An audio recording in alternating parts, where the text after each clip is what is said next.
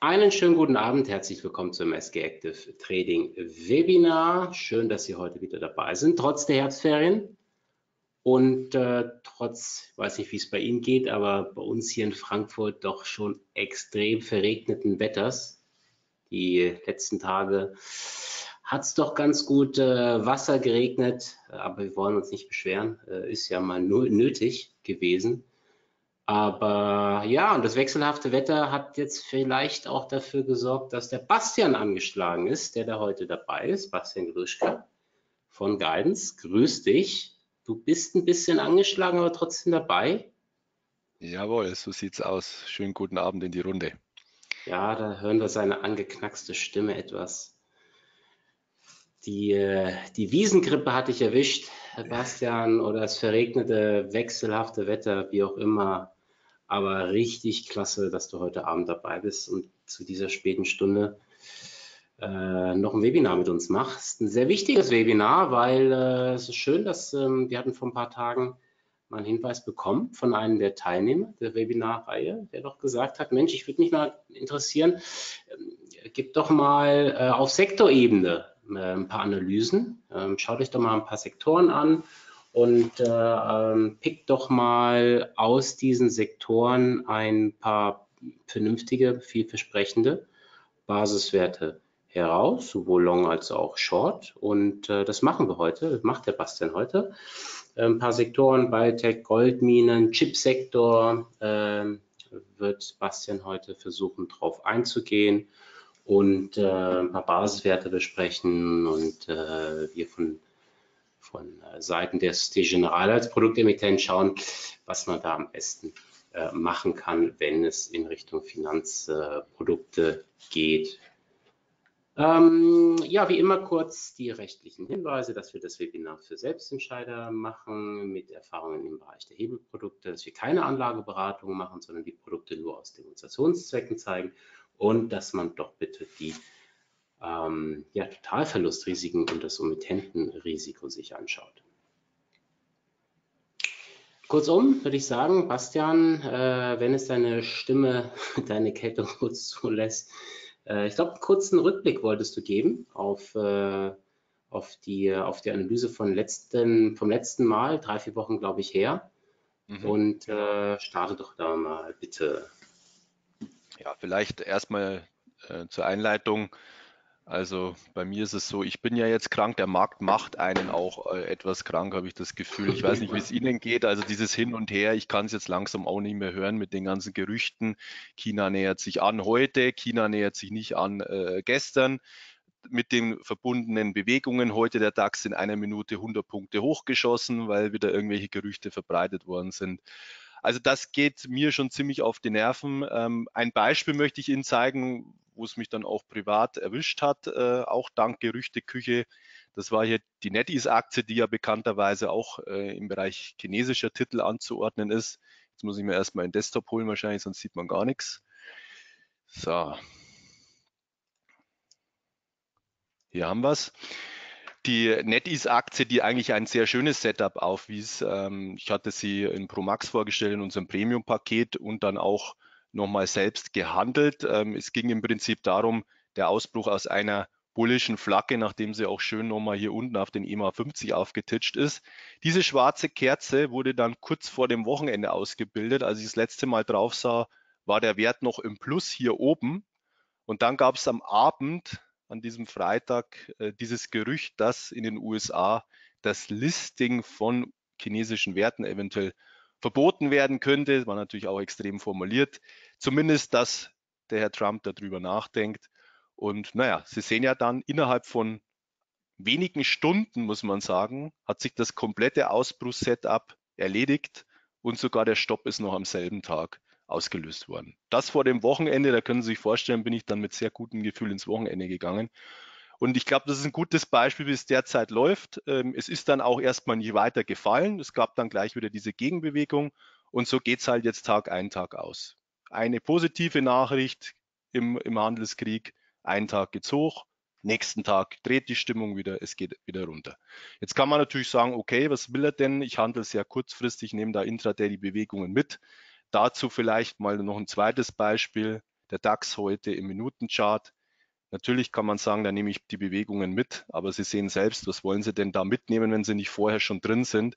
Also hier, äh, wenn man beispielsweise Short-Stops hat oder ähnliches auf den Index, dann hat man mit enormer Slippage zu kämpfen. Diese Minutenkerze war über 50 Punkte lang. Und ähm, wenn Sie dann den Stopp hier oben platziert haben, dann haben Sie mit Slippage von 20, 30 Punkten in, in jedem Fall zu kämpfen. Also das sehen Sie dann auch wieder, der Ausbruch erfolgt, dann wird wieder komplett abverkauft, dieses Gerücht. Naja, so läuft es halt aktuell und persönlich bleibt mir dann nichts anderes übrig, als mich etwas zurückzuhalten, denn das ganz kurzfristige, das ist jetzt nicht mein Trading.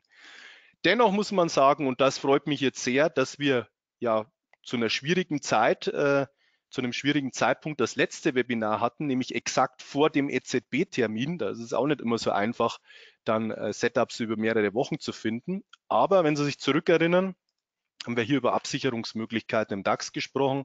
Das blau markierte war der Tag, an dem wir das Webinar hatten, nämlich am 11.09., also im Vorfeld des Zinsentscheids. Und die Aussage war relativ klar, nach dem Run habe ich gesagt, würde ich hier nicht mehr long gehen sondern auch über die ein oder andere Absicherung nachdenken. Der Stopp für Absicherungen war bei 12.600 gesetzt mit Match My Trade. Wir hatten hier mehrere Produkte auch besprochen. Ja, der einzige Nachteil war in diesem Fall auch für mich, ich hatte einen relativ kurz laufenden Optionsschein gewählt und es ging halt dann einfach ewig lang seitwärts, ehe in der Vorwoche dann der Abverkauf erst einsetzte und beide Gaps auf der Unterseite geschlossen worden sind. Also das war das ist der einzige Nachteil, wenn man so möchte, wenn man da in sehr kurz laufenden Optionsscheinen war, dass einfach früher, früher ähm, antizipiert hatte, dass das auftritt, dann äh, hat man, hatte man ein bisschen das Nachsehen. Dennoch, die Gaps wurden geschlossen, der Chart zur Unterseite bereinigt und aktuell liefern sich Käufer wie Verkäufer einen harten Kampf. Es ist hier noch keine Entscheidung gefallen, ob es weitergeht mit dieser Bewegung seit August nach oben oder ob wir nochmal die Tiefs hier unterschreiten, vielleicht sogar in Richtung der Sommertiefs uns bewegen. Das wird jetzt so die Entscheidung sein in den nächsten Tagen. Bislang läuft nichts anderes als eine Gegenbewegung und äh, der Vollständigkeit halber aus dem Wochenausblick. Wir haben natürlich durch die schwache Entwicklung ein weiteres Gap gerissen, 12,263. Das wäre vielleicht noch ein oberes Ziel für diese Woche, wenn es noch einen Schnaps drauf gibt. Mein erstes Ziel ist schon erreicht heute, auch auf Xetra äh, bei 12,140. Das war hier nochmal der Rücksetzer an dieses Tief. Also DAX in einer Gegenbewegung nach dem Abverkauf. Die Short-Ziele wurden erstmal erreicht aus der letzten Besprechung. Ich sehe jetzt aktuell kein unbedingt handelbares Setup, zumindest nicht auf mehrere Wochen. Ähm, was ich mir kurzfristig noch vorstellen könnte, wäre ein Schließen dieser oberen Kurslücke und dann müsste man sehen. Was klare Signale anbelangt, hat sich nichts verändert. Wir müssen hier über die 12,5 drüber im ersten Schritt dann natürlich auch vor allen Dingen über diese Hochs, um überhaupt dann mittel- bis langfristige Signale mal zu bekommen. Wir stehen aktuell auf dem Niveau von April und ja, das zeigt auch schon viel. Es geht zwar sehr volatil zur Sache, aber eben unterm Strich keine Zugewinne oder auch keine Verluste in Bezug auf die Stände im Frühjahr.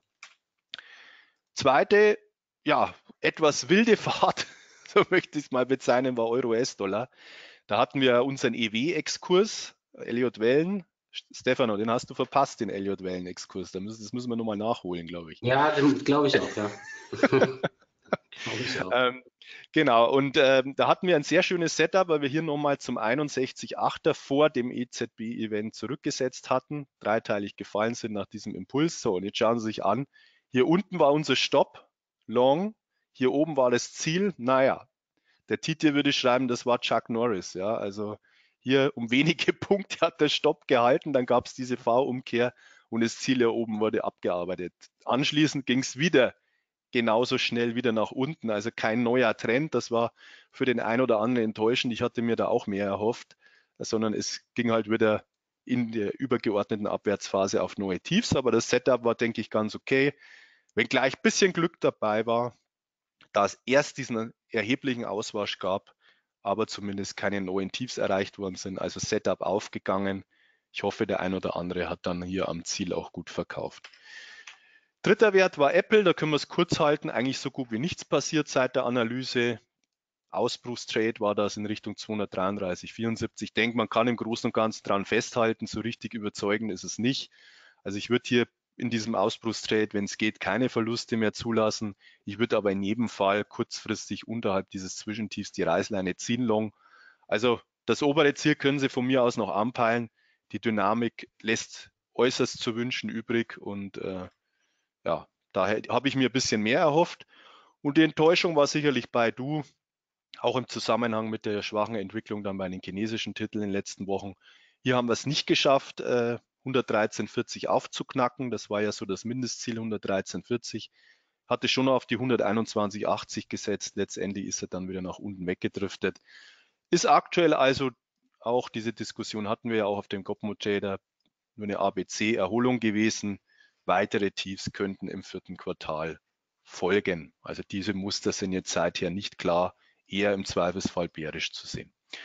Also im Vergleich zu den anderen Webinaren, wo es ja teilweise wirklich schwer war, dann auch was zu finden, bin ich eigentlich mit dem Ergebnis des letzten Webinars zufrieden.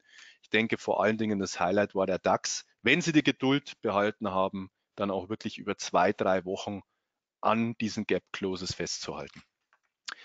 Jetzt hat es der Stefano schon gesagt, wir wollen heute auf Sektorenbasis arbeiten und äh, das hat mich sehr gefreut, die Anfrage des Kunden auch, denn äh, Guidance bietet sich natürlich hervorragend an, auch auf Sektorenebene zu arbeiten. Was können Sie auf Guidance machen? Sie können sich Watchlisten erstellen, Sie können screenen und genau das habe ich heute mal gemacht. Ich habe auf meinem Desktop auch schon die Watchlisten zu den einzelnen Sektoren äh, bereitgestellt. Das kann ich im Nachgang an das Webinar auch nochmal äh, in Verbindung mit den Charts dann nochmal posten. Sie haben auf äh, Guidance sowohl die Möglichkeit, Watchlisten zu scheren, also indem Sie hier aus Ihren Watchlisten einfach eine auswählen und dann in der Kommentarfunktion posten. Ich zeige das mal, wie ich es heute gemacht habe. Also so sieht das dann aus. Die Watchlisten sind an den Post von mir drangehängt. Hier haben Sie die Watchlist zum SOX, zum Chipwerteindex mit den 30 Titeln. Und hier haben Sie eine Watchlist zum XAU, also zu diesem bekannten Gold- und Silberminenindex. Und das Schöne ist, diese Watchlisten sind ja seit einigen Monaten nicht nur blanke Watchlisten bei uns auf Guidance, sondern in diesen Watchlisten ist auch unser Screener integriert. Das heißt, Sie können direkt aus der Watchlist heraus Kennzahlen hinzufügen, technische Screenings durchführen. Insofern wir Fundamentaldaten haben, auch fundamentale Analysen durchführen. Ich habe jetzt hier einfach mal ein simples Performance, äh, Performance-Kennzahl ausgewählt seit Jahresanfang im Minensektor für die XAU-Werte. Da wäre zum Beispiel Eldorado Gold der beste Titel mit 170 Prozent und Freeport der schlechteste Titel mit minus 18 Prozent. Also solche Auswertungen können Sie durchführen. Ich mache dann persönlich immer Folgendes. Ich erstelle mir gleich einen Desktop. Desktop ist ja die gesamte Oberfläche hier auf Guidance und äh, verbinde diese Watchlisten, den Screener dann mit einem Chart. Wie das aussieht, kann ich Ihnen hier mal zeigen. Also das ist beispielsweise jetzt mein Desktop für den Nasdaq Biotech Index. Diese Desktops haben immer eine gewisse Nummer und Sie können über diese URL die Desktops, wenn sie freigegeben sind, auch scheren mit anderen Usern. Das heißt, auch diesen Desktop kann ich Ihnen im Nachgang zur Verfügung stellen. Ich kann Ihnen testweise jetzt auch schon mal in den Chat rein posten. Ich denke, dann kann auch der ein oder andere schon mal direkt darauf zugreifen. Da können Sie sich schon mal vertraut machen, wie sowas aussieht und äh, wie, wie Sie da vorgehen können. Ich starte zunächst mal mit den Indizes an und für sich und dann können wir mal ein, einige Einzelwerte besprechen. Die Indizes habe ich hier auf diesem Desktop abgelegt. Das ist hier links oben der Nasdaq Biotech Index, sehr bekannt, eigentlich das Branchenbarometer für die Biotechs. Dann auf der rechten Seite der XAU, der Philadelphia Gold Silver Sektor Index. Es gibt noch den HUI mit dem Kürzel, also der, der IMAX Gold Bucks Index mit dem Kürzel HUI. Äh, den haben wir jetzt nicht auf Guidance ähm, und äh, auch den, der Dow Jones Gold Silver Index wird äh, immer mal wieder beachtet. Ich habe mich jetzt hier auf den XAU konzentriert. Und auch äh, sehr löblich, dass wir inzwischen den SOX haben auf, äh, auf Guidance, also den Chipwerteindex, der am meisten beachtet ist. Das ist dann unser dritter Sektor, den wir uns anschauen. Insgesamt können Sie sich natürlich auf Guidance auch Sektorenlisten ähm, erstellen. Die werden Sie wahrscheinlich aus meinen Analysen kennen. Ähm, wenn ich die US-Indizes bespreche, das sieht dann beispielsweise so aus, da haben Sie dann einen schönen Tagesüberblick kann ich auch mal posten, den Link zu diesem Desktop. Ähm, einen schönen Tagesüberblick. Wer ist heute der Tagesgewinner? Aha, klar, die Halbleiterindizes. Wer sind die Tagesverlierer? Heute Telekommunikation, Goldminen. Um sich einfach mal so einen Überblick zu machen. Und hier auch können Sie direkt filtern, wer ist der beste Index seit Jahresanfang. Aha, Biotech sehen wir schon schwach, Ölsektor schwach, Hardware-Sektor im Prinzip die Apple-Aktie stark. Also so kann man strategisch vorgehen, so sollte man auch vorgehen, wenn man interessante Werte aussucht. Wir starten heute mal mit dem Biotech-Index. Hat sich, glaube ich, rumgesprochen, dass ich insgeheim schon großer Fan der Biotechs bin, aber natürlich mich mit dem abfinden muss, was der Index dann auch liefert. Und das ist seit einigen Jahren leider nicht viel. Im Gegenteil, das ist noch positiv ausgedrückt. Der Nasdaq Biotech Index ist ein Underperformer seit dem Jahr 2015. Das alles relativ ist, sehen Sie hier. Die Biotechs haben natürlich von 2009 bis 2015 den Vogel abgeschossen, waren hier mit weitem Abstand der beste Sektor und danach sind sie eben in eine Korrektur eingebogen.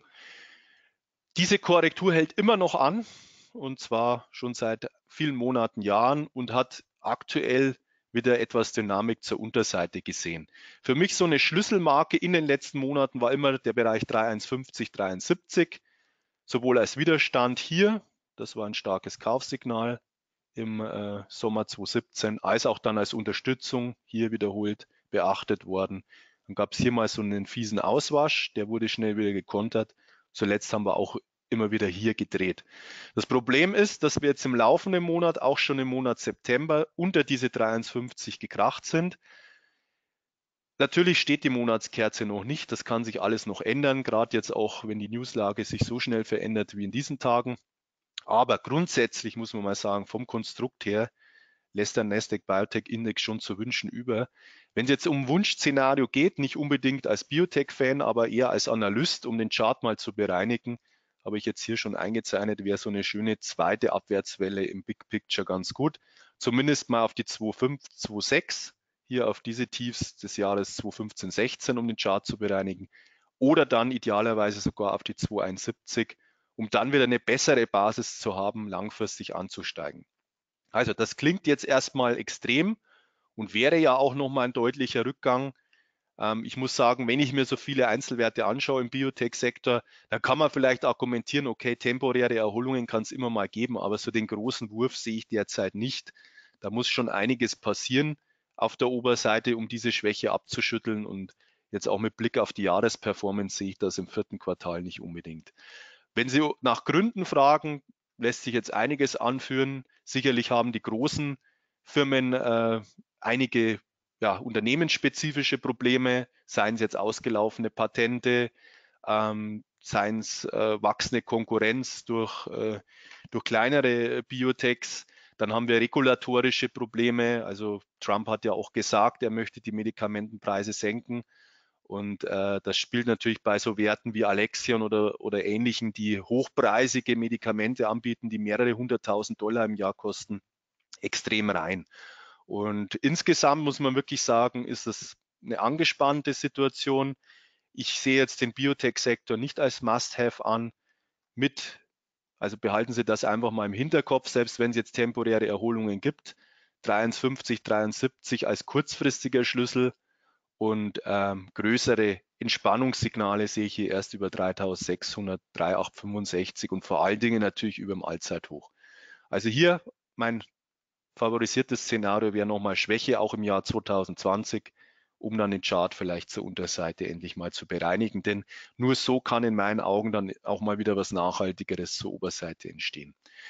Jetzt kann man den Biotech-Index, wie eben schon gezeigt, sich anschauen und ähm, auf Einzeltitel untersuchen. Dazu können wir jetzt nochmal den äh, dazugehörigen Desktop aufmachen. Also das ist jetzt mein Desktop zu den Biotechs.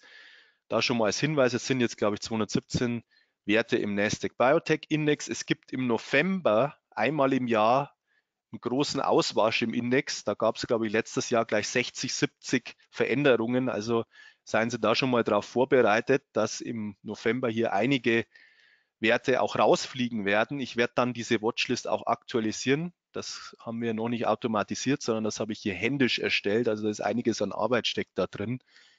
Ähm, ich stelle es Ihnen aber gerne zur Verfügung. Wie kann man zum Beispiel strategisch vorgehen? Sie können Performance Screening machen und sich auf die besten Werte in diesem Jahr konzentrieren. Das sind meist kleinere Titel. Sie können auch mit dem RSL arbeiten, relative Stärke nach Levi, um sich hier die stärksten Titel rauszusuchen. Wenn Sie solche Charts sehen, wissen Sie, das sind dann meist übernommene Titel. Hier diese Dova Pharmaceuticals, da gab es ein Übernahmeangebot vor ein paar Tagen. Die Story ist natürlich erstmal durch. Und durch diese Screenings, auch in Verbindung mit Charts, kommt man dann immer wieder auf interessante Titel, auch natürlich auf extrem schwache Titel. Und einer dieser extrem schwachen Titel ist die Biogen-Aktie. Biogen hatten wir in diesem Webinar auch immer mal wieder besprochen. Ich hatte es ja auch zwischenzeitlich durchaus mal als Long-Kandidaten gesehen. Hier eine mögliche Bodenbildung gesehen. Man muss sagen, es ist nichts draus geworden. Sie kommt einfach nicht mehr richtig in die Gänge, äh, die Aktie, nachdem hier sehr negative News zu einem Alzheimer-Medikament mal wieder sämtliche Chart-Unterstützungen gerissen hat. Diese Range ist erstmal an und für sich neutral zu werten. In Verbindung mit der vorangegangenen Abwärtsbewegung ist es aber eher bärisch zu werten. Und deswegen wäre das für mich beispielsweise ein Short-Kandidat, die Biogen-Aktie auch mit Blick aufs vierte Quartal. Sie shorten damit eher einen der schwächeren Titel in einem eh schon schwachen Sektor. Und aus der Range heraus ließe sich mittelfristig ein Ziel nennen bei 188,20. Das wäre die Rangebreite zur Unterseite abgetragen. Noch ein kleineres Ziel, etwas tiefer, zum Mini-Geheimziel habe ich hier noch rausgefiltert, was sich durch ein Gap ableitet aus dem Jahr 2013. Das kann auch immer noch mal eine Rolle spielen, solche Kurslücken im Chart. Das wäre dann ein Niveau von 184,17. Also das wären so untere Ziele, die man anpeilen könnte mit einem Stopp oberhalb der letzten Hochs. Das wäre also oberhalb der Range ein Niveau von 247 Dollar. Wer etwas tiefer gehen möchte, kann auch dieses Verlaufshoch vom September nehmen. 244. Also Biogen, schwacher Sektor, schwache Aktie, daher eher ein Short. Stefano, hast du da ein schönes mal, Produkt für uns? Wollen wir uns das Ganze genau mal anschauen, äh, wie wir das Ganze vernünftigst umsetzen kann. Und äh, kurz vorneweg, was wir, ähm, vielleicht fragen Sie sich das auch, aber was wir ab und an mal schon hören, ist, ähm, warum habt ihr nichts auf die Sektoren? Ne? Biotech-Sektor, äh, Financials, wie auch immer. Es gibt unglaublich viele Sektoren, Indizes, die quotiert werden vom Stocks 600 äh, beispielsweise, von Nasdaq ähm, in Amerika. Also Indizes, Sektoren, Indizes, die man natürlich auch begleiten könnte, direkt mit äh, Zertifikaten, ohne jetzt auf die Einzeltitel zu gehen. Wenn man jetzt sagt, ich will einen groben Sektor abbilden, entweder Long, Short, gehebelt, wie auch immer.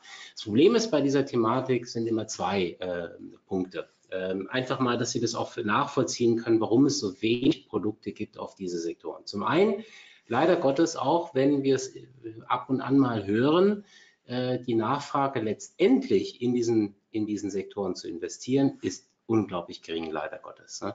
Und äh, das ist leider, korreliert leider negativ mit den Kosten, die die Emittenten haben bei den Sektorenindizes.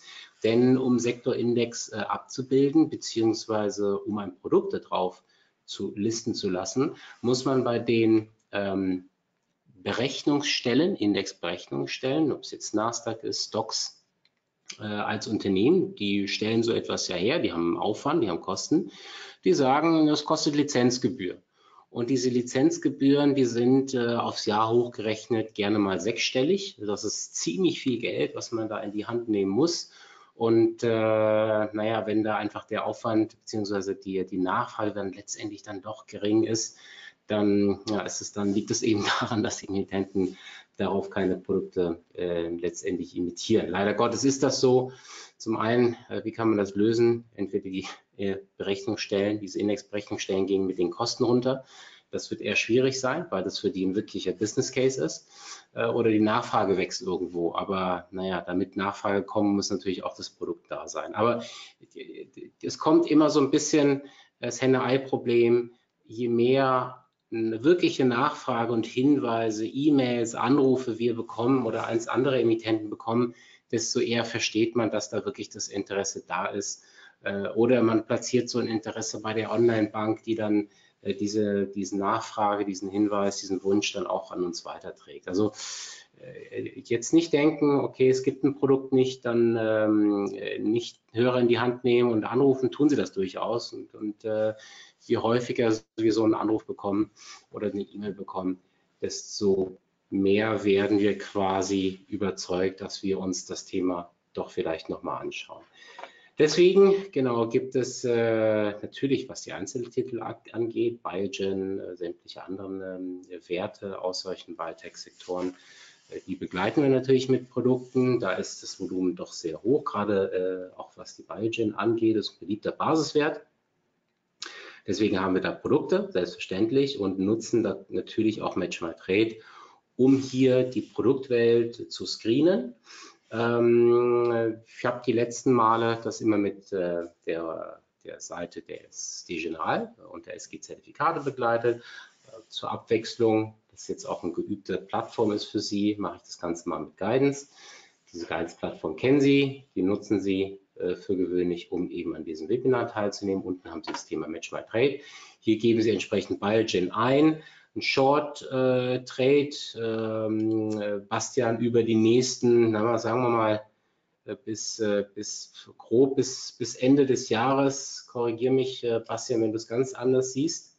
Aber du sagst es ja, zu kurzfristig willst du da gar nicht gehen. Sagen wir mal bis Ende des Jahres mal so eine Möglichkeit in Richtung grob 184 US-Dollar mit einem Innenbereich Stop-Loss von 244 ähm, eingegeben in diesen Web-Frontend oder hier eben gerade über das äh, Chart-Tool, können Sie ja hier entsprechend abändern.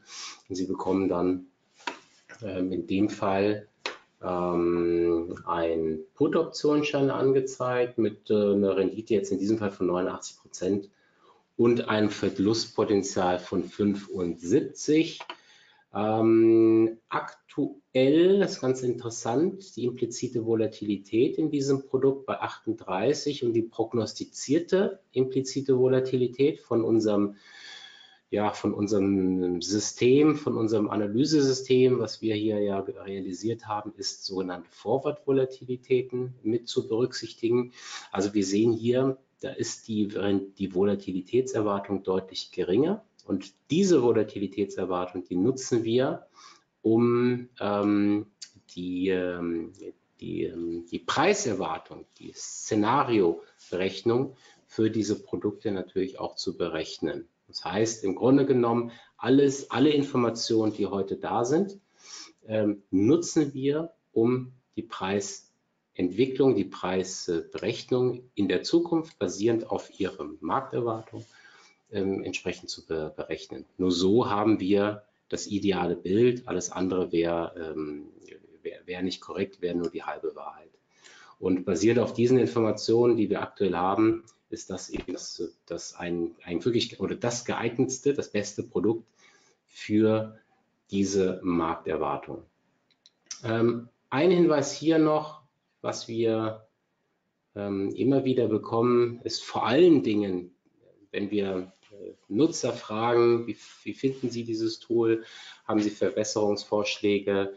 Ähm, die meisten, und vielleicht geht es Ihnen auch so, sagen, naja, schön, dass ihr das macht, aber mir reichen die Generalprodukte nicht. Ich hätte ganz gern einen Überblick über alle Emittenten, dann kann ich mir selbst ähm, vor allen Dingen auch anschauen, was den Preis angeht. Bin ich, äh, ich kann mir einfach den aggressivsten Emittenten anschauen oder den engsten Spread, wie auch immer, nach verschiedenen Kriterien einen Wettbewerbsvergleich machen, Preisvergleich machen. Deswegen immer wieder der Wunsch, bindet doch andere Emittenten auch äh, rein. Ich kann es absolut verstehen. Äh, zwei Gründe sprechen dagegen. Zum einen ist es natürlich die, äh, die, ähm, naja, die ökonomische Komponente weil wir das Produkt natürlich als die General kreiert haben, hergestellt haben, in vielen Stunden über zwei Jahre hinweg ähm, entwickelt haben, ist natürlich fällt es uns dann schwer, dieses Tool kostenfrei zur Verfügung zu stellen auf alle Emittenten. Aber der wirklich maßgebliche Grund ist der, dass wir die Preisentwicklung von Produkten anderer Emittenten überhaupt nicht einschätzen können und auch nicht dürfen. Also wir haben für dieses Tool für Match My Trade, die Genehmigung der Bank, der Rechtsabteilung der Compliance-Abteilung der Bank, die würden wir gar nicht bekommen, wenn wir hier jetzt sagen würden, das Produkt der BNP, der Commerzbank, der Deutschen Bank entwickelt sich so und so. Das wissen wir ja gar nicht. Wir kennen ja nicht die Modelle der, der anderen Banken. Die weichen immer ein bisschen ab. Die vor allen Dingen wie entwickelt sich die Volatilität. Das ist bei anderen Banken anders als bei uns. Und wenn es nur um Nuancen sind, so ist der Preis nun mal ein anderer. Und deswegen dürfen wir sowas äh, etwas gar nicht zur Verfügung stellen. Nur einfach mal als Hintergrund ist so, wieso das äh, nicht möglich sein wird, ähm, andere Emittenten mit reinzunehmen. Aber was wir was ich immer ja wieder fairerweise sagen will und auch muss, ist, dass sie, dass dieses Tool ihnen letztendlich hilft, zu wissen, welche, welche Produkte jetzt sinnvoll sind. Sie haben es steht Ihnen natürlich frei, diese Informationen zu nutzen und über die Vergleichsportale zu gehen, diese Levels einzugeben und dann selbst zu entscheiden, ähm, das ist jetzt ein Put-Zertifikat auf äh, Put-Optionsschein auf äh, Biogen mit der entsprechenden Laufzeit und mit dem entsprechenden Basispreis. Diese Information nehme ich, gehe auf die Vergleichsportale, dann habe ich einen Überblick über die verschiedenen Emittenten und kann immer noch entscheiden, welchen Emittenten ich will. Also das da immer, sage ich auch immer wieder ganz gerne, der Hinweis, nutzen Sie die Möglichkeit, Match My Trade erstmal vorfiltern und wenn Sie jetzt nochmal die Zeit haben, sagen, ich will jetzt nochmal vergleichen, dann gehen Sie entweder auf Guidance äh, oder auf Godmo Trader oder auch von Vista auf Finanzen.net, auf Börse Stuttgart und vergleichen einfach die Produkte. Aber Sie wissen schon mal, wonach Sie suchen müssen. Ne? Und äh, das ist die Hilfe letztendlich, die Ihnen Match My Trade bietet. Ähm, genau, das ist, denke ich, alles, was wir zu Biogen, zu dem Put hier sagen können. Okay, ja, danke Stefano, dass du das auch nochmal erläutert hast, äh, warum keine anderen Emittenten in dem Match My Trade drin sind. Die Frage kam auch auf meinem Desktop immer mal wieder auf. Du hast dich das wahrscheinlich auch gefragt, gib's zu. Warum kann ich ich, ich, ich habe es dich, glaube ich, auch schon gefragt. Ja, das stimmt. Nee, ähm, ähm, nee, ist natürlich verständlich, klar. Also wir schauen weiter. Ähm, vielleicht noch zu dieser Sektorenthematik. Ähm, ich bin da schon auch bei Ihnen. Also äh, man, muss, man muss sagen, ähm, Einzelwerte in so einem High-Vola-Sektor wie Biotechs oder Goldminen, die haben natürlich dann nochmal ein erheblich äh, größeres Risiko als der Sektor an und für sich schon.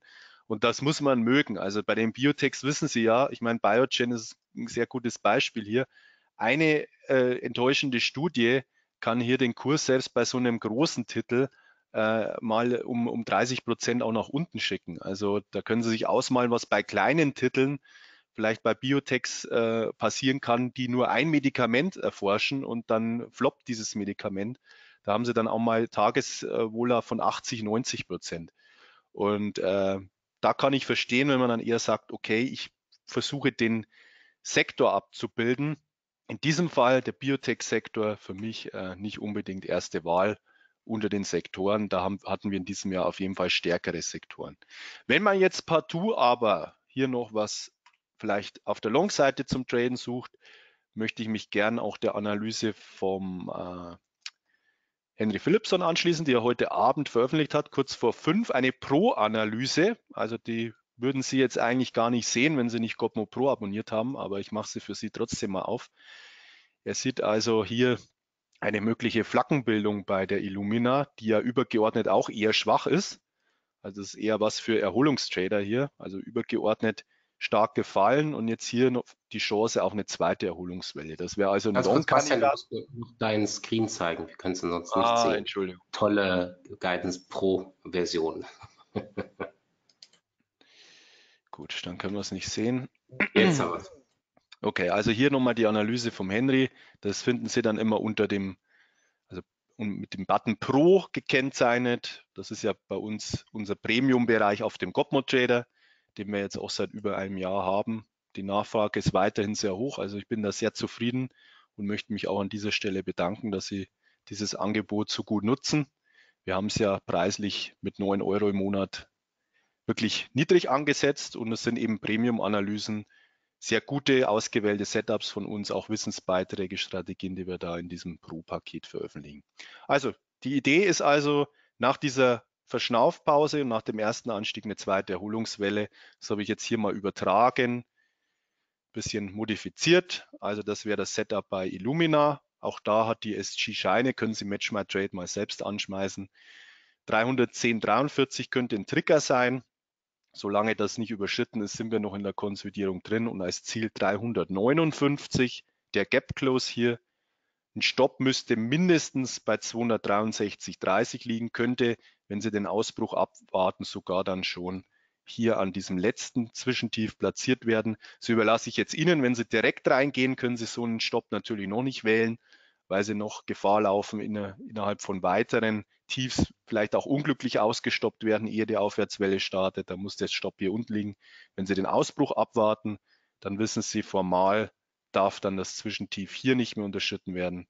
Insofern riskieren Sie dann nur in Anführungszeichen diese Strecke. Also Illumina, wie soll man es beschreiben? Als Kontertrade auf dieser Unterstützung hier nach, einer, nach einem ersten Anstieg die Chance, insgesamt in der Range wieder Boden gut zu machen auf 359. Das also eine Long-Variante im Biotech-Sektor. Damit haben wir diesen Sektor auch durch. Sehr heiß diskutiert, ja, nicht nur seit Tagen, seit Wochen und eigentlich auch die Überraschung in diesem Jahr, vielleicht neben dem Hardware-Sektor mit Apple, ist der Chip-Sektor. Apple ist natürlich auch direkt verbunden mit dem Chip-Sektor. Ich glaube, fast in keinem Sektor gehen die Meinungen so stark auseinander derzeit. Wie geht es weiter? Wie ist die Lage? Sie haben es mitbekommen, die letzten News, beispielsweise Micron mit einem sehr schwachen Ausblick. Da ist der Sektor erstmal abgekippt. Dann gab es vor ein paar Tagen die News, ah, das iPhone 11 ist wohl gut nachgefragt. Kaum kam die News über die Ticker, ist der gesamte Chipsektor wieder angesprungen. Und im Prinzip dann auch mit der China-Thematik, wo sich auch die Newslage fast täglich ändert, sehen wir auch dieses Hue und Hot im Chipsektor. Grundsätzlich mal der große Unterschied zum Biotech-Sektor. Ich glaube, da brauche ich auch gar nichts einzeichnen, zeige ich einfach den Kursverlauf. Hier sind wir in einem äußerst starken Sektor unterwegs, der in diesem Jahr sogar neue Allzeithochs gemacht hat. Wohlgemerkt auch über den Allzeithochs des Jahres 2000. Also da sind wir wirklich auf neuen Rekordständen angekommen. Insofern ist man hier unter relative Stärkeaspekte eher auf der Long-Seite unterwegs. Warum habe ich jetzt hier dennoch mal den Pfeil nach unten gemalt? Naja, es ist schon auffällig, dass zuletzt nicht mehr viel nach oben ging.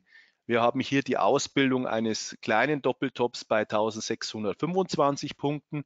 Heißt für Sie als Trader, wenn Sie long gestimmt sind, wir müssten darüber ansteigen. Dann habe ich hier auch schon den Pfeil auf 1750 eingezeichnet. Das wäre das Long Setup. Ich präferiere für die nächsten Tage, Wochen nochmal einen Rücksetzer in diesen unteren Bereich. Das wird natürlich nur zustande kommen, wenn jetzt auch die Verhandlungen in China, USA weiter stocken. Sollte sich da irgendwas Richtung Einigung andeuten, dann wird wahrscheinlich auch der Chipsektor durch die Decke gehen, dann können wir das vergessen mit dem blauen Pfeil. Rein formal halte ich es für gerechtfertigt, hier das mal so einzuzeichnen. Ob es dann so kommt, wird man sehen müssen. Jetzt kann man natürlich in dem Sektor auch so vorgehen und, und, und sich mal Outperformer anschauen, die vielleicht schon auf neue Allzeithochs ausgebrochen sind, währenddessen man Chipwerte eher shorten sollte, die diese Aufwärtsbewegung vielleicht gar nicht mitgemacht haben oder irgendwie festhängen. Und da habe ich Ihnen auch zwei interessante Titel herausgesucht. Der erste Wert auf der Long-Seite ist auch in einer Godmo Pro-Analyse erschienen, schon in der letzten Woche, markiert heute ein neues Allzeithoch. Das ist die Aktie von Taiwan Semiconductor. Das ist ein Titel, und da sehen Sie auch, was Guidance wert sein kann, auf den ich selbst wahrscheinlich nie gekommen wäre, auf den mich aber ein User angesprochen hat. Der hat dann geschrieben, Bastian, schau dir doch mal die Taiwan Semiconductor an. Und dann mache ich den Chart auf und sehe das hier und dann freue ich mich. dann freue ich mich, weil dieser Titel natürlich exzellent aussieht. Er ist einem, in einem starken Sektor, ein Outperformer, der schon in der letzten Woche ein neues Allzeithoch markiert hat. Also starker Sektor, starke Aktien in einem starken Sektor, Long-Kandidat. So sind die Überlegungen. Hier sehen Sie schon mal das Szenario, was ich hier eingezeichnet habe. Es ergibt sich aus dieser, und das hat mich jetzt wirklich überzeugt, seit Januar 2018 laufenden Range oder Korrektur die erst in der Vorwoche zur Oberseite verlassen worden ist, die aber eine deutliche Breite aufweist und diese Breite ist wiederum das Ziel zur Oberseite. Also ich kann mir hier vorstellen, Etappenziele 52, 20, 57, 59. Das wäre jetzt so mein Fahrplan für einen impulsiven Anstieg in den nächsten Wochen, Monaten. Also Taiwan Semiconductor, Semiconductor im mittelfristig, langfristigen Bild wäre für mich ein klarer Kaufkandidat im Chipsektor. Ja, ich denke, das ist klar geworden, wo auch der Unterschied dann zu den Biotechs liegt und wo der Unterschied auch bei dieser Aktie zum gesamten Index liegt. Hier laufen wir schon voraus. Auf diese Aktie hat die SG leider keine Scheine, das heißt, Sie müssten hier direkt in den Wert gehen.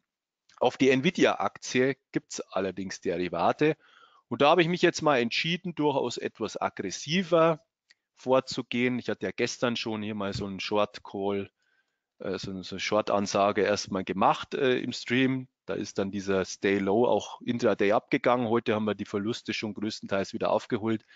Es ist einfach so, dass wir bei Nvidia aktuell sehr gedeckelt sind. Das ist insofern interessant, als dass Sie hier einen klaren Trigger auch für mögliche Short-Stops haben. Es hat mich gleich nach meiner Short-Analyse jemand angeschrieben gestern, der gesagt hat, ich bin da Long, wie sieht es denn da aus? Naja, man kann gegen Long jetzt auch nicht viel einwenden. Man muss halt sagen, die Widerstände sind hier noch nicht rausgenommen. Also es ist einfach noch zu früh meiner Ansicht nach, das zu antizipieren. Ähm, wer das machen möchte, das ist in Ordnung. Ich zeige es jetzt mal ein, damit es dann nicht heißt, ich habe das jetzt hier unterschlagen. Da müssten dann beispielsweise Stops meiner Ansicht nach zumindest unter diesem Tief vom 27.09. liegen. Also wer hier trotzdem die Long-Seite spielen will, weil er sagt, okay, Chipsektor interessiert mich eh fast nur Long, ist in Ordnung. Ich habe mich jetzt hier entschieden, mal trotzdem ein Short-Szenario vorzustellen. Das ist hier eingezeichnet. Ganz kurzfristig zumindest ein Test der beiden EMAs hier bei 173,30 und mittelfristig sogar möglich, wenn sich hier dann so ein Doppeltop ausbildet, das wäre natürlich die Voraussetzung, dass wir da auch drunter fallen, ähm, sogar ein Schließen des Gaps bei 151,60. Hier ist es wichtig, ähnlich wie bei den Biotechs, dass Zahlen enorme Sprünge auslösen können. Bei den Biotechs sind es dann die Studiendaten. Also merken Sie sich vor, im November wird auch Nvidia, glaube ich, Zahlen veröffentlichen. Das kann natürlich dann auch dementsprechend den Kurssprung auslösen. In diesem Fall bietet es sich an, das hat der Stefano auch immer gesagt, wirklich dann den Knockout auch auf dieses Niveau zu wählen, weil sie dann, sollte es ein Upgap geben nach Zahlen, natürlich dieses Gap-Risiko im Prinzip in diesem Fall der SG überlassen. Und äh, das ist sicherlich auch mit Blick auf die Zahlen die, die, die Lösung, die Sie am ehesten wählen sollten. Also ich würde hier vorschlagen, eng abzusichern, vielleicht bei 189 Dollar Ziel wäre dann zumindest 173,30 und wenn es natürlich ganz toll liefe, mit schwachen Zahlen auch eine Rückabwicklung des Anstiegs vom August. Also ist sicherlich sehr gewagt. Der ein oder andere wird vielleicht mit dem Kopf schütteln und sagen, nee, Nvidia finde ich einfach von Hause aus klasse, da möchte ich jetzt nicht shorten, kann ich es auch verstehen.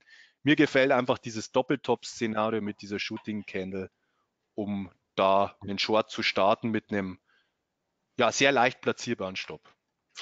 Das heißt aber äh, nur zum Verständnis, äh, was ja so grundsätzlich Chipsektor, habe ich richtig verstanden, ist eher positiv.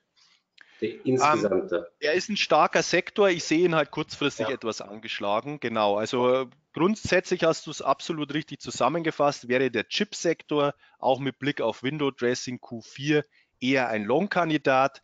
Ich, mein Szenario, ich zeige es nochmal kurz, wäre, wenn, wenn, dann Long nochmal kurz runter, ja, und äh, also wer da auch auf Window Dressing gehen möchte, ja, wenn der Chart dann nochmal lädt, eben erst ab diesem Niveau hier unten 1410, 1420 versuchen hier nochmal abzufischen und dann kann man den blauen Pfeil von mir aus auch so malen. Ja? Okay. Zeig mir mal eine Sache nochmal und äh, den Beweis, dass äh, Bastian doch ganz gut lag mit der Auswahl des Day Lows gestern. Ähm, auch hier vielleicht nochmal ein kurzer Hinweis. Tai Taiwan Semiconductor spannende Aktie. Da könnte es eine gute Bewegung nach oben geben. Absolut, wenn Sie ähm, der gleichen Meinung sind, sinnvoll, sich mal anzugucken, wo Sie die Aktie bekommen, was Sie für Transaktionsgebühren haben, wo die, wo die liegt, an welcher Börse die notiert wird, etc. Meistens ausländische Börse hat man ja dann auch höhere Kosten. äh, muss man sich eben an, mal anschauen. Aber auch da, das ist einfach derzeit äh, die Derivate-Emittenten, beziehungsweise wir haben die noch nicht so für uns entdeckt. Äh, und die Nachfrage ist noch nicht da. Die werde ich mir aber morgen gleich mal anschauen, Bastian, ob wir da nicht ein bisschen was bringen können auf Taiwan Semiconductor.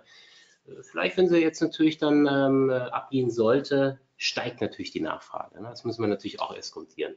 Einfach ähm, den Stefano mit E-Mails bombardieren, heute genau. noch oder morgen, ja. und dann wird es bestimmt dann, bald Scheine geben. Das funktioniert auch, genau. Aber man muss es ja nicht gehebelt umsetzen. Ne? Ich sage das ja auch immer, äh, es gibt Gründe, wieso man ab und an gehebelt in einen Basiswert investieren sollte, aber es gibt auch genügend äh, Gründe, äh, wieso das nicht sein muss, gerade wenn man ähm, ein Portfolio hat, wo man vielleicht mal eine Position eingeht, genügend Kapital zur Seite hat, dann muss man nicht unbedingt gehebelt ähm, investieren. Ähm, und zu dem Punkt, den du gesagt hast, Stop-Loss der Trading-Strategie, da immer den Knockout wählen. Äh, macht absolut Sinn, Gap-Risiko vermeiden. Ich sage immer, äh, was bringt es mir, wenn ich ein Produkt habe, was ich 10 Euro bezahle und mich gemäß der Stop-Loss-Regel in der Trading-Strategie bei 9 Euro ausstoppen lasse, da habe ich 1 Euro Verlust versus ein Produkt, was 1 Euro kostet und mich bei 0 Euro automatisch ausstoppen lasse. Da ist der Verlust genauso 1 Euro absolut. Nur, ich habe nun mal den Vorteil, dass unter 0 kann es nicht gehen, aber wenn der Markt nun mal tief eröffnet, und das Produkt respektive 8,20 Euro dann auf einmal kostet, dann werde ich eben nicht bei 9 Euro ausgeführt, ausgestoppt, sondern eben bei 8,20 Euro. Das ist nun mal die Gefahr, wenn ich andersrum gehe und sage, ich kaufe ein teures Produkt und lasse mich bei 9 Euro ausstoppen. Der Krux bei der Sache ist natürlich, dass ich, nehmen wir mal an, ich investiere bei dem einen Produkt 10 ähm, und habe 1 Euro Verlust versus 1 Euro, da darf ich natürlich nicht auch 10 Euro investieren, sprich 10 Mal das gleiche kaufen, weil dann habe ich dann auf einmal 10 Euro Verlust. 10 Produkte mal 1 Euro. Ne, das ist dadurch hebelt, bin ich dann wiederum viel zu sehr gehebelt. Ich muss da natürlich meine Management berücksichtigen, nicht überhebeln, nicht überreizen, nicht zu viel Kapital investieren in so einem Fall, sondern eben dann auch respektive auch nur in diesem Fall ein Produkt dann kaufen. Das ist ganz, ganz wichtig, weil dieser Vorgehensweise und die berücksichtigen wir auch bei Match My Trade in diesem Fall. Ähm, und gucken wir uns an bei Nvidia, Short-Strategie, äh, kurzfristig grob 173 Kursziel, Stop-Loss 189 und die besten Produkte sind in, die, in der Tat, ich glaube, du hast es eben gerade erwähnt gehabt, Stay Low. Ähm, zwei Produkte hier doch mit äh, durchaus interessanten Renditen von um die 126 bis 134 einen entsprechenden Verlust um 78 bis 88 Prozent mit einem schönen Chance-Risikoprofil ähm, oder Verhältnis, die mir hier doch das Tool anzeigt als die interessantesten Produkte für dieses spezielle Szenario. Und das hattest du dir ja gestern ja auch äh, gesagt, äh, Bastian, dass du das als äh, ein gutes Produkt äh, gesehen hast. Stello, klassischerweise für diejenigen, die das Produkt nicht kennen, das Produkt kostet jetzt äh, 2,34 Euro und wird am Laufzeitende, wenn der K.O.-Level von dem Produkt bei 190 ist das, nicht erreicht wird, dann zahlt das Produkt am Laufzeitende 10 Euro aus. Aber das äh, Produkt äh, bzw. Metro Trade berechnet uns hier eine Prognose, also wir nennen es Bit-Prognose. Bit ist der Rückkaufskurs die Rückkaufskursprognose von ca. 55 bis 6 Euro, je nachdem, wo wir uns im Laufzeitbereich dann äh, befinden. Warum? Weil das Produkt dann einfach länger läuft. Und wenn ich das, wenn hier mit dem Zieldatum 7. November, wenn das jetzt meine Markterwartung ist, das Kursziel von 173 sich einstellt, dann wird eben dieses Produkt entsprechend mit dieser Produkte, äh, Prognose bewertet. Sollten es aber noch länger laufen lassen bis zur Endlaufzeit, dann wird eben fix 10 Euro ausgezahlt. Das ist die maximale Auszahlung auch, aber das ist dann die definitive Auszahlung. Ähm, vorausgesetzt dafür ist das, oder Voraussetzung dafür ist, dass die Barriere dieser K.O.-Level von 190 nie erreicht wird. Und das liegt ja auch oberhalb unseres Stop-Loss, also gemäß unserer Markterwartung, ähm, dass wir da eben raus wollen aus dem Markt bei 189. Sehr schön. Und jetzt kommen wir zum nächsten Sektor. Ja, genau. Also da, da natürlich nochmal der Hinweis, du hast es ja schon gesagt, das Setup kann auch innerhalb von wenigen Tagen schon hinüber sein. Das heißt, Sie setzen hier wirklich nur das ein, was Sie komplett abschreiben können, eine kleine Summe und ähm, müssen da mit dem Totalverlust bei einem Anstieg über 190 dann auch rechnen. Also ist, denke ich mal, jetzt auch heute das gewagteste Setup. Da können Sie es schon einordnen, wenn ich so sage, dann glaube ich, ist klar. Die Goldminen, der dritte Sektor für heute ja, an Edelmetallen kann man ja in diesem Jahr eigentlich nicht vorbei. Als Trendtrader musste man da auf jeden Fall mitspielen. Was mir aktuell nicht so gut gefällt, das vielleicht mal unabhängig von der Charttechnik, ist das Sentiment, das sind auch die COT-Daten. Ich denke, das werden auch die Kollegen an dieser Stelle in den letzten Wochen angesprochen haben. Das sind natürlich sehr extrem. Das Sentiment hat sich sehr verbessert. Die halbe Welt ist ja aktuell long äh, gefüllt auf, auf, auf Gold und Silber. Wenn ich so die Analysen sehe auf, die, auf Godmode Trader Guidance, also was Bärisches habe ich da auch schon lange nicht mehr gelesen. Das äh, ist für mich immer so, dass ich sage, hm, hm, hm, da sind sich aber alle sicher, dass es demnächst neue Hochs geben wird. Das möchte ich jetzt ein bisschen einschränkend formulieren, dass mir das derzeit nicht so äh, gefällt. Natürlich schaue ich aber auch auf den Chart und der Chart, da kann ich natürlich den Analystenkollegen erstmal nur, ähm, nur zustimmen ist weiterhin im Aufwärtstrend. Das muss man so sehen. Hier habe ich jetzt den XAU, also diesen Philadelphia Gold Silver Index. Wir haben dreiteilig konsolidiert. Da sind wir wieder beim Elliott-Wellen-Exkurs, auch vom letzten Mal. Das ist eine Mindestvoraussetzung für einen neuen Trendimpuls. Also das würde ausreichen. Auch dreiteilig konsolidiert an das 38-2er Retracement hier. Ich nehme hier die Retracements über den Anstieg von Mai bis August. Das ist also die Mindestkonsolidierung, das haben wir absolviert und steigen seither wieder an. Der eine oder andere wird hier vielleicht klassisch eher eine SKS sehen. Auch das haben wir in den Videos immer mal wieder thematisiert. Das wäre jetzt also die bärische Variante für alle Zweifler, dass wir nochmal weitere Tiefs sehen.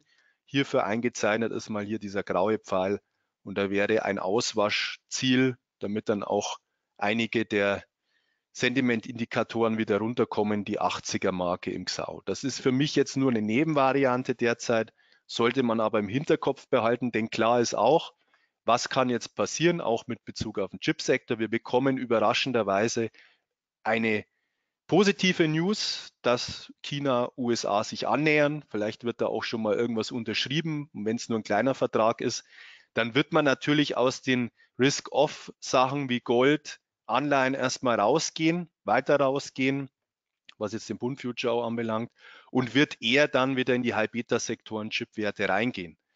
Das muss man wissen aktuell. Das heißt, wenn Sie Gold long sind, Chipwerte short, haben Sie eigentlich ein doppeltes Risiko im Portfolio. Also schauen Sie sich da auch an, wie Ihr Portfolio zusammengesetzt ist. Denn wenn sich äh, die Lage entspannt, dann wird sowohl Ihr Short auf die Chipwerte verlieren, als auch Ihr Long auf die Goldtitel.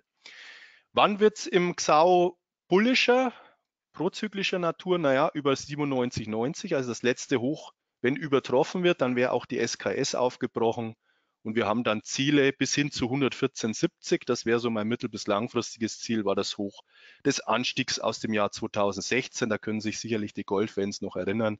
Das war ja wirklich das Eldorado hier. Der XAU explodiert von 38 auf 115 Punkte. Wenn man diesen Anstieg sieht, relativiert sich auch die Korrektur. Ich sage ja immer, schauen Sie in die großen Zeitebenen rein, um das einordnen zu können. Also für mich dominiert hier schon weiterhin die Long-Seite. Mir gefällt das Sentiment nicht. Mir gefällt auch nicht die extreme Positionierung der äh, institutionellen. Aber ich akzeptiere es vorläufig, dass der Trend intakt ist und würde hier mit dem Trend gehen, also eher long. Wenn wir jetzt den ich war gerade mit äh, der Beantwortung einer Frage beschäftigt und habe nicht gemerkt, dass du noch meinen alten Screen zeigst. Ich muss nochmal umschalten. Man sieht, die äh, bist leicht angeschlagen. Das passiert dir normalerweise nicht. Deswegen absolut zu entschuldigen. Okay, also ich habe hier wieder die, die, die, die, schwarze analysiert im, im, äh, auf dem Bildschirm. ohne Chart das zu analysieren, ist natürlich immer sehr hilfreich. Okay, gut. Also hier nochmal der Chart. Ich glaube, ich brauche es jetzt nicht mehr erläutern. 38,2 erreicht. 80 wäre ein Extremziel auf der Unterseite. Über 97,90 muss ich mich natürlich entschuldigen, ohne Chart immer schwierig, in Richtung 114,70. Das heißt, eher noch die Long-Seite zu präferieren, wenn man mal von den Sentiment-Indikatoren absieht. Was könnte das im Einzelaktienbereich bedeuten? Auch hier haben wir uns zwei Werte rausgesucht oder drei eigentlich. Ich konzentriere mich vielleicht jetzt auf die zwei Titel, die man auch handeln kann. Wo sind sie? Da sind sie. Also hier relativ ähnliche Setups, Barrick Gold und Newmont Goldcore heißt es jetzt, glaube ich. Hier sieht man bei Barrick Gold ähnlich wie im Index eine Verteidigung hier dieses letzten Tiefs. Das heißt, wir haben einen sehr schönen Trigger auch für die Short-Seite, wenn man hier was handeln möchte, wie auch für Absicherungen auf der Long-Seite. Also wer hier unter 16,19 ab, 16,90 absichert, ähm, kann die Long-Seite weiter spielen. Ziele wären dann 1885, 2008 bis 2350. 2350 entspricht dem großen Ziel im Index, nämlich dem 2016er Hoch. Und der Stopp, wie gesagt, bei 16,90. Ich würde mich erstmal sicherheitshalber ausstoppen lassen, wenn nochmal neue Tiefs unter den September-Tiefs entstehen. Auch mit der Gefahr, dass es vielleicht nur eine Bullenfalle wird ähm, oder eine Bärenfalle. In dem Fall ist es ja dann eigentlich. Ähm, da, da würde ich dann trotzdem lieber die Reißleine ziehen. Deswegen Stopp hier unten. Ziele bis hin zu, also erstes größeres Ziel 20 bis hin zu 23,50 bei Barrick Gold. Ähm, dann zeigen wir vielleicht noch die Newmont und dann können wir auch noch die Produkte dazu nehmen. Weiß jetzt nicht, wo die verschwunden ist. Ist die irgendwo drunter versteckt? Nur, wenn nicht, mache ich sie nochmal neu auf. In der Kochsendung heißt es ja immer, ich habe hier mal auch was vorbereitet. so, da ist es schon. Also Newmont Mining im Prinzip ähnliches Setup. Sie müssen jetzt sicherlich auch nicht beide Werte long nehmen, da hätten Sie auch wieder doppeltes Risiko.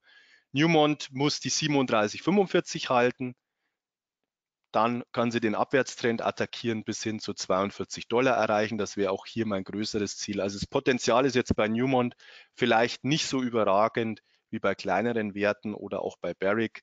Also wer hier Chance-Risikoverhältnisse liebt, der geht vielleicht eher auf die Barrick. Vom Setup her geben sich beide nicht viel. Unter den September-Tees würde ich mich ausstoppen lassen und erstmal schauen, wo sich bei Gold und Silber dann auch die nächsten Tees ausbilden. Also Goldsektor Outperformer im Jahr 2019, insgesamt eher long. Sentiment im Extrembereich angekommen, das ist nicht so schön. Das haben wir jetzt im Chipsektor beispielsweise nicht so. Da gibt es immer noch genug Zweifler. Ähm, aber was die Einzelaktien anbelangt, intakte Aufwärtstrends, schön konsolidiert seit den August-Hochs und somit eine Basis da, um im vierten Quartal dann nochmal neue Hochs zu markieren. Ja, bestens. Vielen Dank, Bastian. Ähm, schmeißen Sie, wie du es vorhin so schön formuliert hast, durchaus mal Match My Trade an für Newmont und für Barrick auf Guidance. Ähm, da bieten wir Produkte, selbstverständlich bekannte, beliebte äh, Basiswerte. Ähm, bleibt abzuwarten, inwieweit da die ähm, Handelsstreitigkeiten zwischen den US-Boys, äh, zwischen Trump und China, wie das weitergeht, inwieweit die, ja, diese Analysen ja leider auch äh, immer wieder mal verhageln, zumindest für kurze Zeit, in die eine oder andere Richtung bewegen. Äh, ich fand schön, dass wir jetzt mal ähm, wirklich auf einen Hinweis von einem, Teilnehmer eingegangen sind, mal die Sektoren uns angeguckt haben. Ist durch, durchaus eine sinnvolle Sache, damit man den Blick fürs große Ganze auch immer mal schärft und äh, dann von diesem großen Ganzen eben auf einzelne Basiswerte geht. Ich fand es klasse, äh, Bastian, dass du heute trotz dessen, dass du angeschlagen bist, doch dabei warst. Ist immer nicht so ganz einfach, das dann äh, zu machen, sich zu konzentrieren, eine Stunde lang zu reden. Ähm, nächste Woche, um einen kleinen Ausblick zu geben, schon haben wir nicht den Bastian, sondern den Sebastian, den Bastian Hoffmann mit der Birgit Klein vom Prime Quanz. Ähm, die Marktexperten, die Analysten ähm, mit denen wir auch schon länger zusammenarbeiten, am 16.10. dann ähm, zum Thema Markttechnik und Trading. Sind ja auch schon ein paar Mal bei uns gewesen im Webinar, wo es auch um technische Analyse geht, äh, ein paar Trading-Strategien. Es wird so ähnlich ablaufen wie, wie heute, wo es neue Basiswerte auch wieder gibt. Wir werden schauen, dass wir uns wieder was Spannendes einfallen lassen für Sie. Ja, einen schönen Abend. Hoffentlich mal zur Abwechslung, Abwechslung nicht so verregnete Tage. Ein bisschen Sonne würde uns vielleicht wieder gut tun. Ähm, bis nächste Woche hoffentlich. Und Bastian, dir gute Besserung. Vielen Dank. Dankeschön, einen schönen Abend. Bis zum nächsten Mal. Tschüss. Tschüss.